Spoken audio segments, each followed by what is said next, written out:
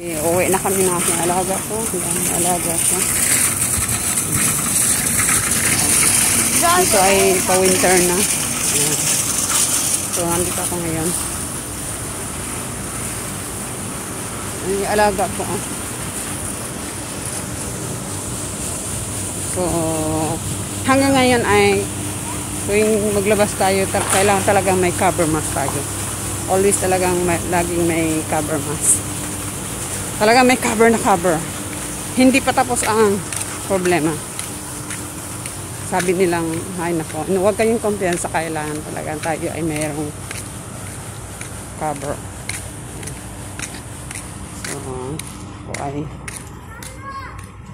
yung alaga ko, i-exercise siya. Uh, nandito na kami ngayon. Yan siya.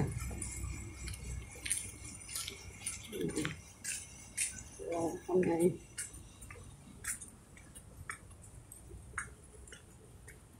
Ano ang alaga ko? So, ngayon.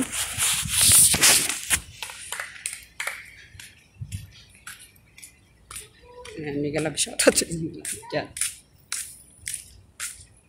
So, kung malaki ang mga bahay dito, ayan, parang mga building. Ayan. Kung sa atin pa dito ay parang, sa atin to sa Pilipinas ay muna yan. Sobrang taas na talaga yan. Napakataas talagang bahay yan. Dito kasi mga bahay ay mga malakihan. Taas.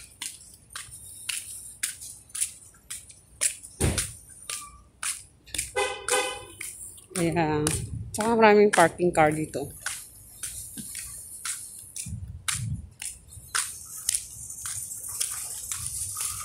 So, hindi pa naman masyadong lamig dito. Kasi pinapawisan pa naman ako pag maglakad ako. So, nagsombrero ako. Akala ko, akala ko lamig na nga eh. Ang galing ko. Sobrang init na. Napawisan na ako. Buti ngayon napawisan ako no. Tapos pawisan din tayo.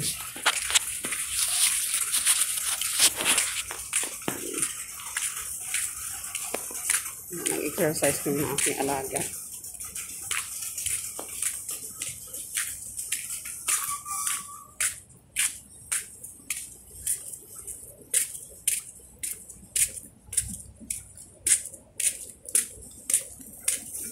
Na kami. Pinawisan na rin ako. Ganda pag mapawisan pala, no?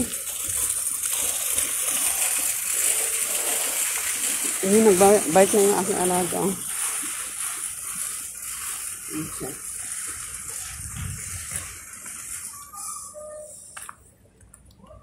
So, ayan, oh, kikita niyo yan.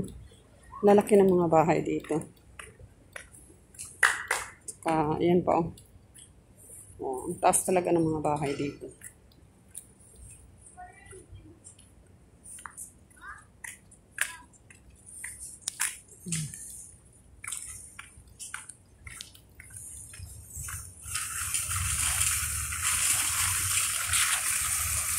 Kaya, pinawisan ako. Sarap ng feeling pag napawisan po tayo. Ayan, ito. Um, malalaki yung mga bahay. Ko. So, nakuha na rin yung alaga ko. Siya ay nakalabas. Ah, para na rin mag kaka-exercise siya ng katawan niya. So, kahapon binili siya ng bagong bike ng kanyang mami. Ayan. Sabi kasama ka ah. Mag-exercise ka para lalakad lang tayo. Malapit lang naman.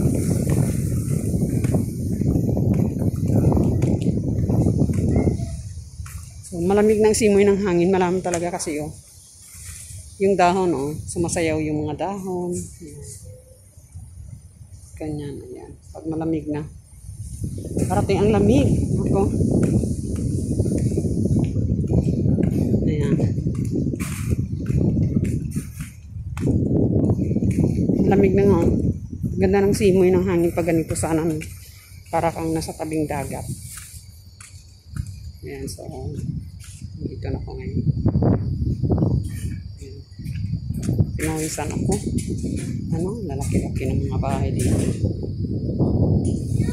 So, ayan. So, dito na ako ha. So, thanks for watching and listening me. Ayan. And God bless us.